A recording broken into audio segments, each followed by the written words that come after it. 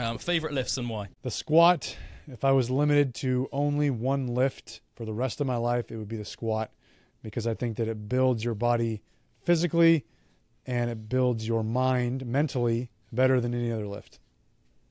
So that would be it.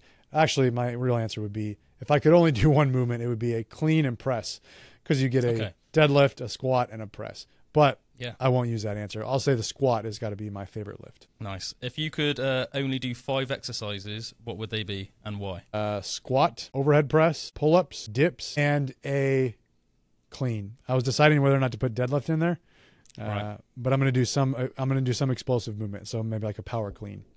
Sure. But I will always pick a squat over a deadlift, just because I that's my personal preference. Uh, but And those are those are pick- them.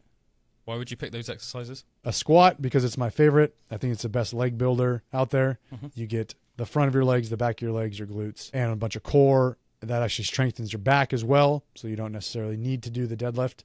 And if you want to get more posterior chain, just put the bar lower and bend over more. So the squat's in there for that reason. Uh, also trains the adductors, the your groin, which doesn't get hit very well uh, with other movements. The overhead press, because I want to do a pressing movement that I can add weight to, and I will always pick a press over a bench press. I don't particularly like the bench press anyways. A pull up because I have to do some sort of row, and I just think that it's the most useful row. Mhm. Uh, the dip, I would say a dip or a push up, but I feel like a dip is a little bit more difficult, so I don't have to Mhm. do endless amount of push ups. I can get a really good workout with fewer uh, dips. I can also do weighted dips, and then a power clean because I want some sort of explosive movement where I have to move weight quickly. Nice, man. I think that was all five.